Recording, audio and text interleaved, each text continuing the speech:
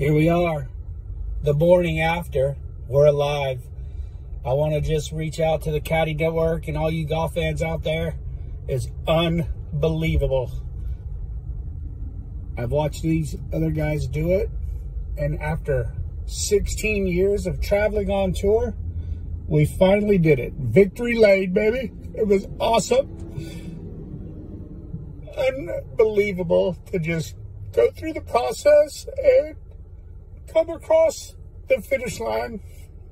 I love you guys. I love everybody that was a big part of it. It's tough. I mean, it's emotional. I, am choking up here.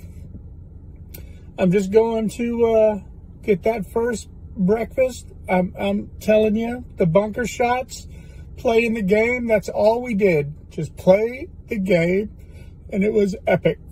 I um, I look forward to doing it again. Uh, you guys keep following the progress. Team Thompson, all the way. I love you guys. Hashtag Caddy Wagon.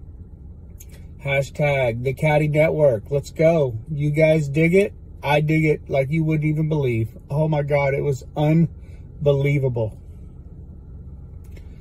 Unbelievable. Much love. Thanks for, you know, sending out the good vibes. You know who you are.